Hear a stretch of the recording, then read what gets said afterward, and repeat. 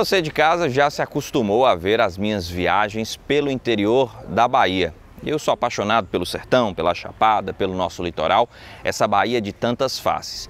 No programa de hoje, o desafio é duplo. Primeiro, porque eu tenho esse desafio de contar um pouco da história de Salvador para você e você também de ver a minha visão sobre a capital do nosso estado, a Salvador, que também representa os outros 416 municípios dessa Bahia grandiosa, com um jeito de país, múltipla, versátil. E a capital não poderia ser diferente. Salvador de muitas faces, de muitos encantos, de muitas paisagens. Cidade boa para quem mora e cidade também que costuma receber muito bem quem vem de fora para cá. Em Salvador vivi oito anos da minha vida. Nasci lá no sertão, em Guanambi, e aqui eu tive muitas passagens importantes, memórias, vivências. E no programa de hoje eu tenho, eu vou dividir o programa em duas partes. A primeira nós vamos falar um pouco sobre as histórias que ajudaram a explicar a cidade do Salvador de hoje. Um olhar lá para trás para a gente entender um pouco da formação aqui da capital.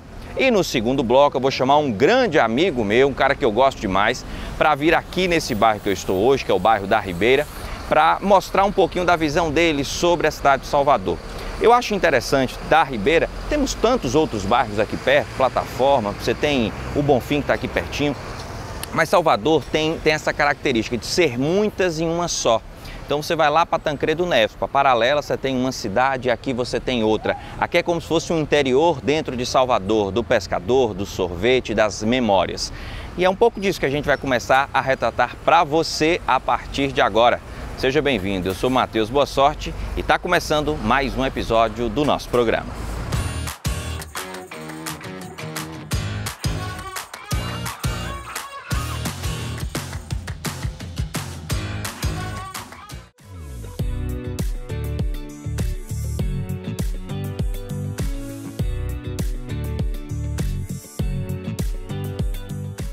Nosso destino do dia é Salvador, capital da Bahia.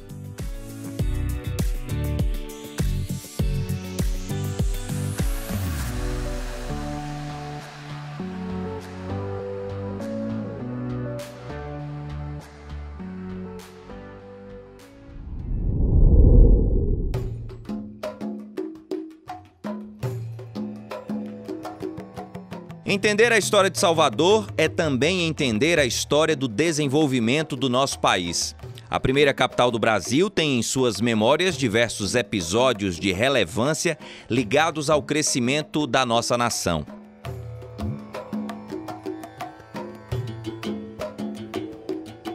E quem fala um pouco sobre isso com a nossa equipe é o renomado historiador Ricardo Carvalho, um estudioso apaixonado sobre o assunto.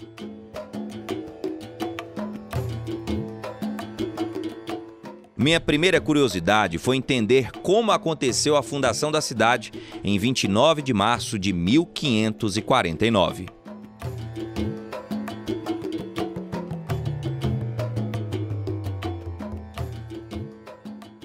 A população europeia que aqui chegou né, em 1549, primeiro não foram os moradores europeus essenciais, originários, né? O Diogo, Diogo Álvares Correia, o Caramuru, já tinha é, permanecido aqui desde 1510. E também é bom lembrar que Salvador não foi um acidente histórico. Né? Salvador ela é consequência de um planejamento para se transformar na capital do grande império português das Américas. Nós tínhamos todas as pré-condições para isso. As correntes marítimas anticiclônicas do Atlântico que traziam tudo que navegava em África, que navegava da Europa em direção ao Oriente, acabava queira ou não, batendo nessa região aqui mais ou menos, né? Que é essa área é, da Bahia, da costa da Bahia, em particular Salvador. Salvador tem águas abrigadas, esse imenso espelho d'água que é a Baía de Todos os Santos, perfeita para navegação.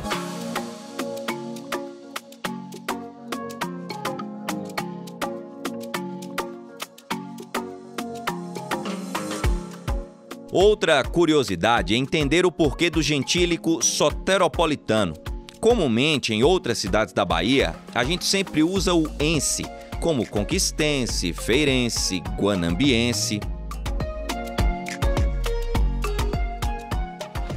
Porque a cidade do Salvador é a cidade de Jesus Cristo, Salvador, o Messias. Então, toda vez que a gente se refere à cidade, é a cidade do Salvador.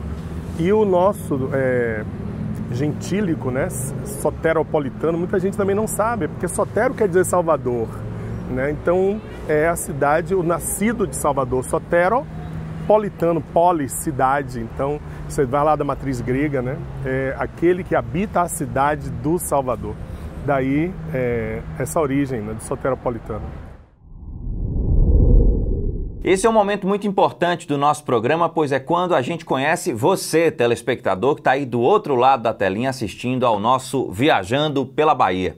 Vai lá nas redes sociais, no Instagram, arroba Mateus Boa Sorte, Mateus com TH, e comenta na minha última foto de que lugar da Bahia ou do Brasil ou do mundo você está vendo o nosso programa. E me diz o que, que você está achando do episódio de hoje.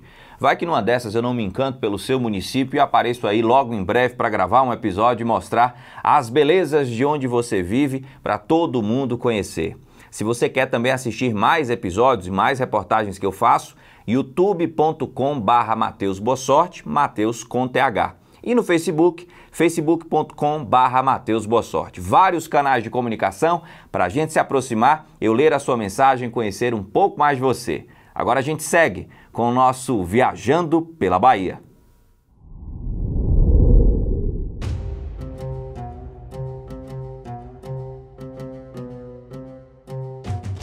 Em meados do século XVIII, as condições econômicas do açúcar já não estavam tão favoráveis. A concorrência com o açúcar de beterraba na Europa e o açúcar das Antilhas, produzidos por ingleses e holandeses, fez com que o açúcar baiano começasse a entrar em um processo de decadência.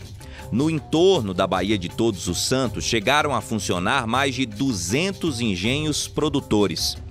Paralelo a isso, as primeiras jazidas de ouro foram descobertas no interior de Minas Gerais.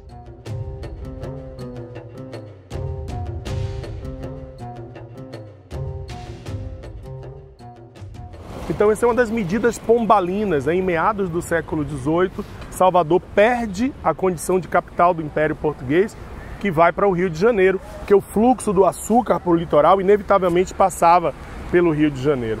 Então, Salvador vai viver um período muito difícil, aquele final do século XVIII, início do século XIX. Isso é um dos elementos, uma das matrizes dos movimentos anticoloniais.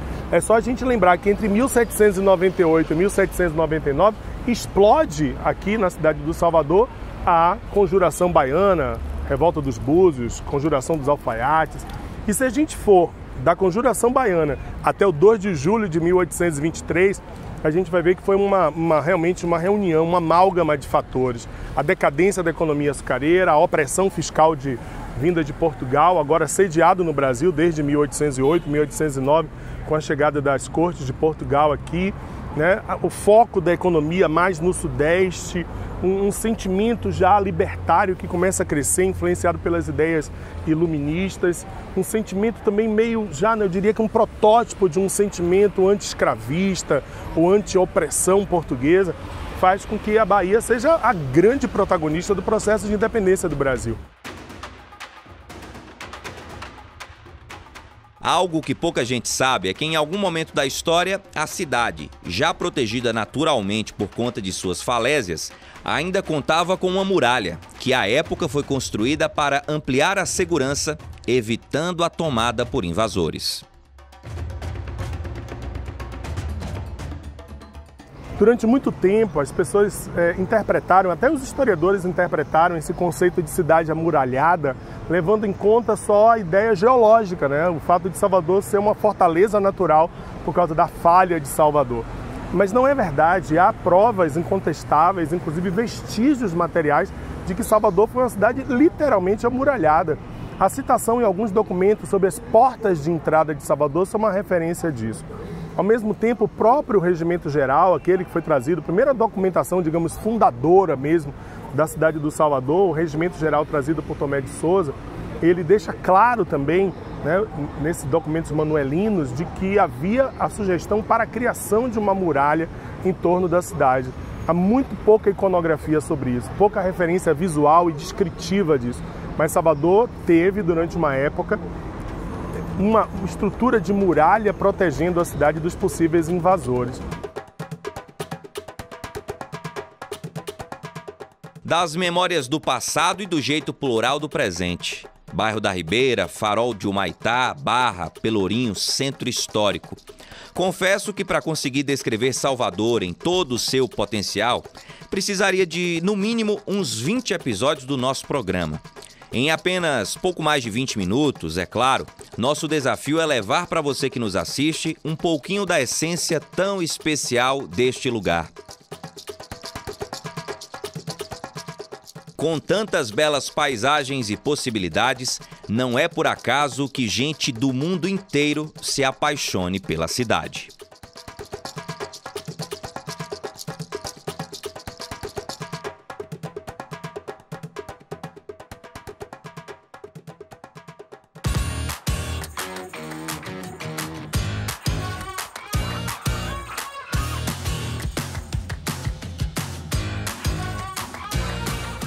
Já voltamos e no programa de hoje estamos conhecendo Salvador, capital da Bahia. Siga com a gente nessa expedição.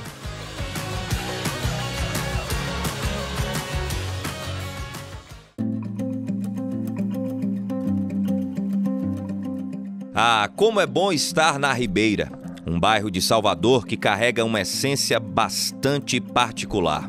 Jeito de interior, mesmo sendo um pedacinho da quarta maior cidade do Brasil.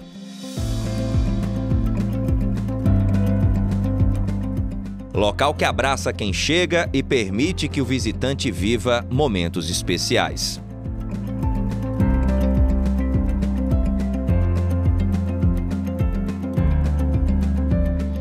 Nosso rápido contexto histórico sobre a Ribeira foi obtido através do livro Salvador, Minha Cidade, de autoria do historiador Ricardo Carvalho, que você já conheceu no programa de hoje, e de Ricardo Schomer. O nome do bairro surgiu com a Ribeira dos Galeões, em data incerta nos primórdios da cidade. Uma das muitas acepções da palavra é lugar às margens de enseado ou rio, onde é possível colocar embarcações a seco para consertá-las. O bairro foi povoado por pescadores até o século XIX, quando alguns endinheirados da cidade o elegeram para abrigar casas de veraneio. No século XX, recebeu indústrias e observou um interessante aumento populacional.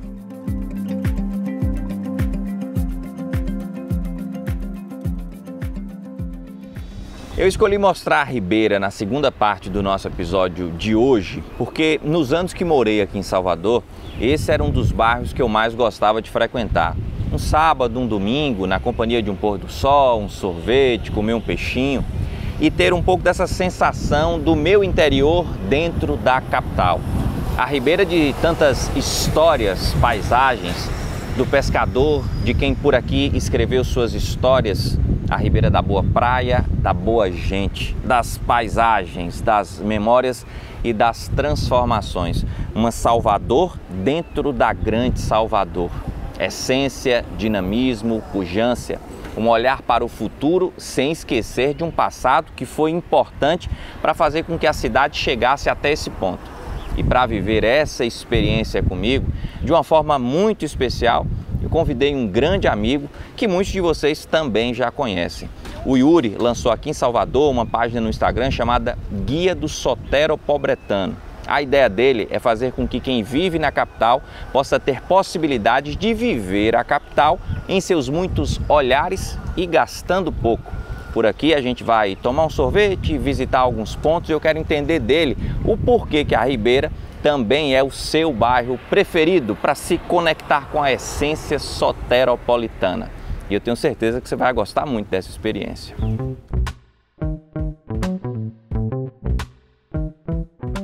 Yuri Barreto é um dos criadores de conteúdo mais talentosos que eu já tive o prazer de conhecer. E falo isso em primeira pessoa mesmo. Eu, Matheus, admiro demais o trabalho que esse jovem de boa prosa e bom coração realiza.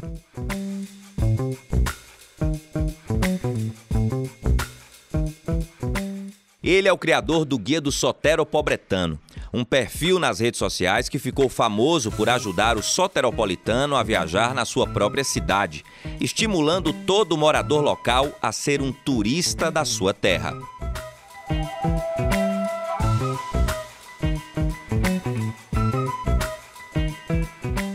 Convidados por ele, viemos passar uma tarde na Ribeira e aproveitamos para conhecer o casarão Amado Bahia, que recentemente foi restaurado e abriga o Museu do Sorvete.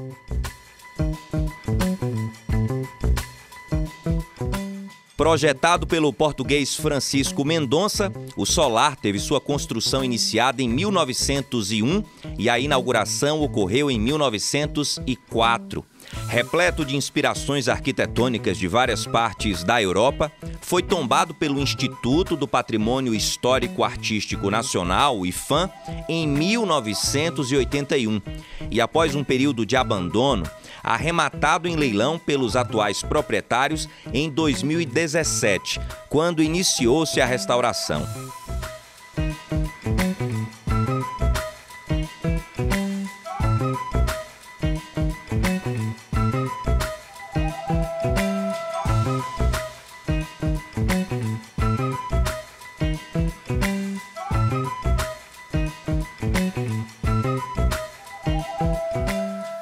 Seus destaques que vale o registro é a bela vista para a exuberante península de Itapajipe.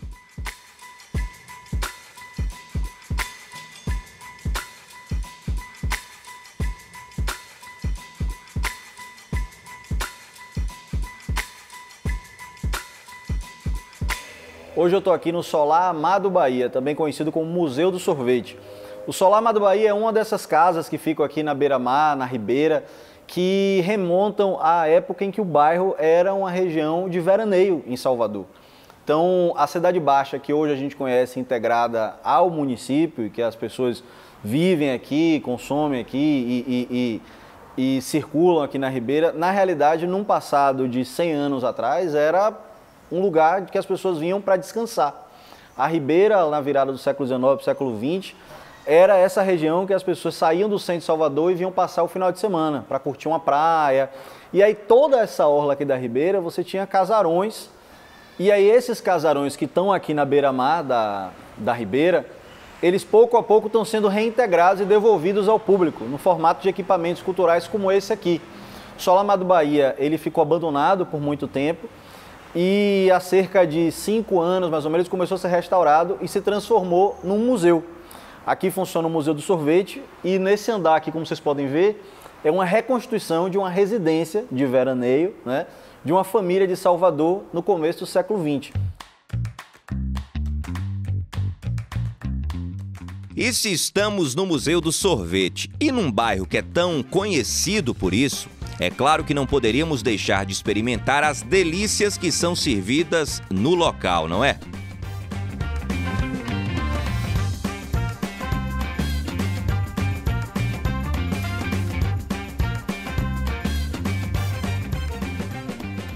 Yuri, Ribeira combina com sorvete, a gente já visitou o museu, já visitamos o solar e agora nós vamos para aquela hora bacana do programa, que é a hora onde a gente come.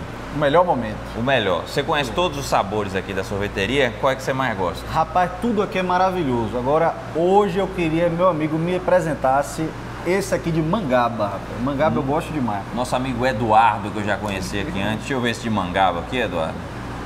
Dose dupla aqui, uma para mim, uma para Yuri.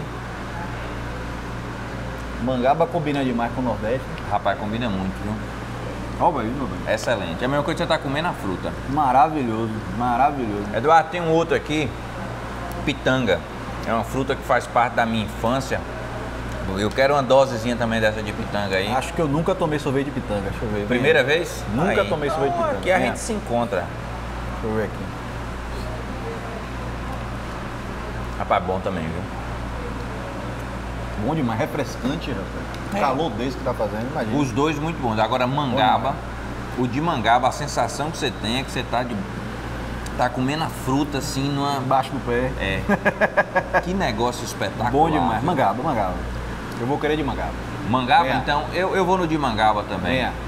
Sempre que você quer se reconectar com Salvador, você dá um pulinho aqui, você já falou com a gente. Rapaz, Tomar é, esse é um... sorvete é, é, mais do que um sorvete, eu acho que é o que você falou. É, é um pouco nessa, nessa imersão, nessa cultura do bairro, essa Exato. coisa e, que E não é apenas tomar o sorvete, é pegar o sorvete, atravessar a rua e ir para a beira do mar. Eu gosto de tomar o sorvete vendo o mar da Ribeira. É o, a, experiência fica mais saborosa, entendeu? Uma coisa que você falou e é verdade. Antes da gente gravar, eu tava dando uma olhadinha lá. O clima de interior dentro de Salvador. Demais, demais. A forma que as pessoas andam na rua, que as pessoas olham a vida da janela de casa. A é, galera se conhece, tem gente que deixa a porta aberta, bota a cadeira na rua. Cadeira na rua é muito interior. É o WhatsApp tem. de antigamente. Exato, é a né? melhor câmara de vigilância que existe. É verdade. É, a- verdade. é as minhas tias na, beira- É, na, na é. porta de casa. Três Na dias, Ribeira cinco tem. e meia da tarde ali, pra comentar o dia, planejar o amanhã. Tudo, sabem tudo que tá É, acontecendo. Quem entrou, quem saiu. Oxente, rapaz, ele é o jornal ao vivo e a cores. Joga pra Cast de Mangaba. Rapaz, experiência fantástica que quem vem a Salvador não pode deixar de ter.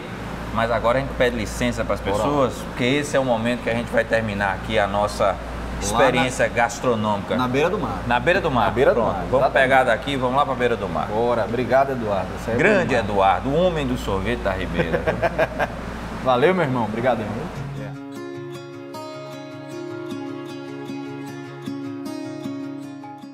Salvador e seus tantos jeitos de ser. Yuri, apaixonado pela cidade como é, nos fala sobre a sua forma de sempre encontrar formas de se conectar com a essência da cidade.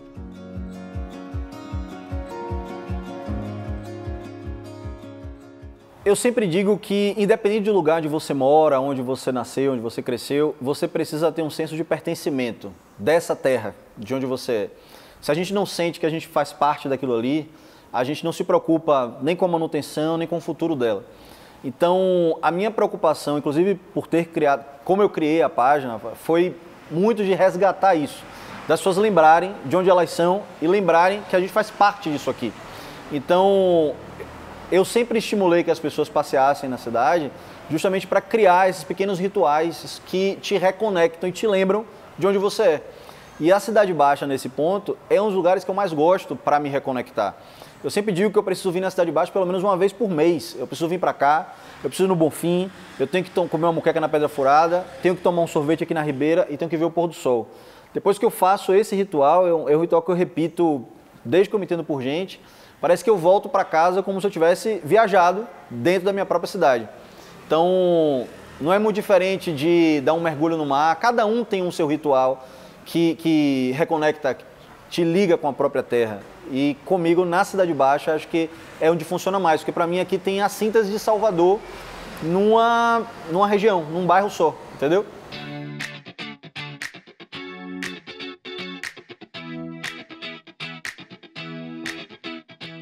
Ribeira, Ribeira, de tão linda, calma e cativante, como não se apaixonar por você em suas tantas formas e seus tantos jeitos?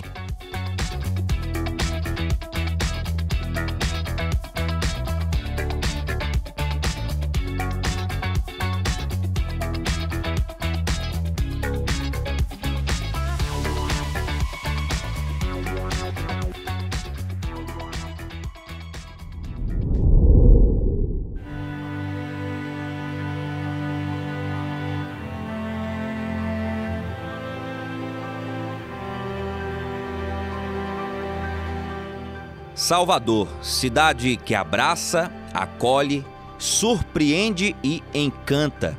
De cores, de formas, de aromas, sabores, surpresas. Da gente de sorriso sempre farto, das praias de águas tão belas, da história viva que tanto diz sobre como foi a nossa caminhada até aqui.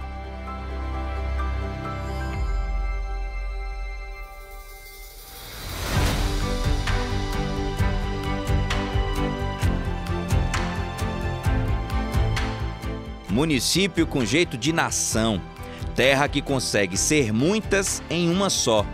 Daqueles lugares que encontrar palavras para resumir é sempre um desafio.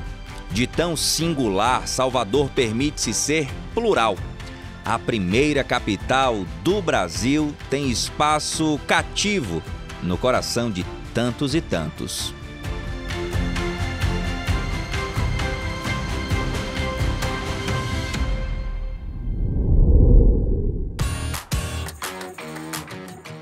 Próximo episódio do Viajando pela Bahia é o último da nossa primeira temporada.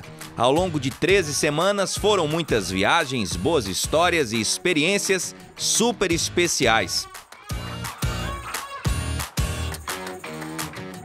E para nossa despedida, preparamos uma viagem maravilhosa até a ilha de Itaparica, revelando algumas das belas paisagens natural deste pedacinho da nossa Bahia.